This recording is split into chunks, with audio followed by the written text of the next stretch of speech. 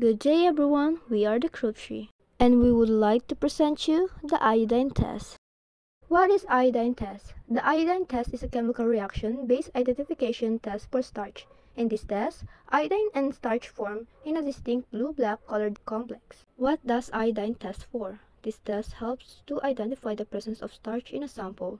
It also helps to distinguish between mono or disaccharide from polysaccharides.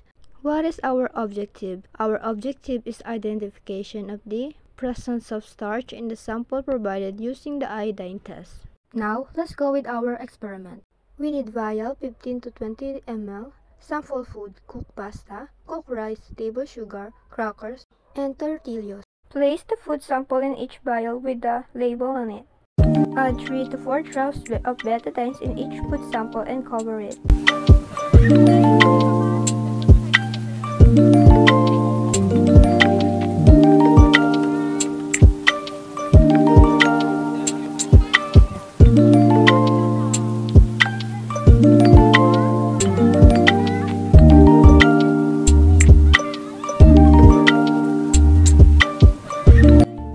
Note that betadine changes from yellow to blue or black in the presence of starch.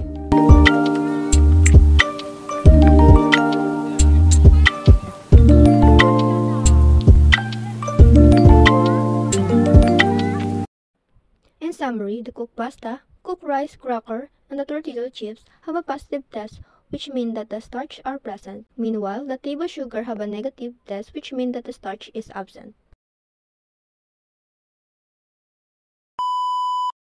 And that should be all. Thank you for watching and listening to our video. Goodbye.